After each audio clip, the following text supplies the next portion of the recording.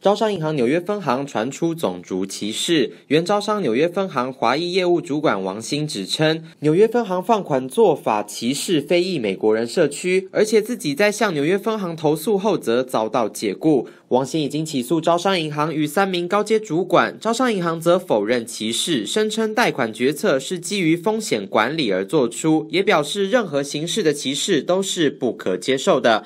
在今年二月，前招商银行业务主管王兴遭到公司开除，他表示原因是因为向上级投诉银行的歧视性借贷行为。王兴已经在周二向纽约联邦法院提起诉讼，指出他因为招商银行已经实施超过八年的黑人社区歧视行为。为提出投诉而被解雇。他首先在去年四月提出问题，请管理层注意。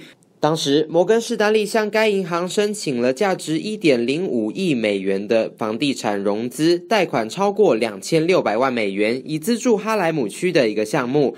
由于风险管理主管胡杰的意见，该银行只批准了一千万美元。同时指出这笔贷款的多项缺点，并写道：哈莱姆区并不是高阶人士聚集之地，非裔美国居民比较集中。王兴指出，在他和银行首席法务和合规官员反映后遭到开除。王兴的律师格利布表示，将向招商银行提起薪资损失和惩罚性赔偿。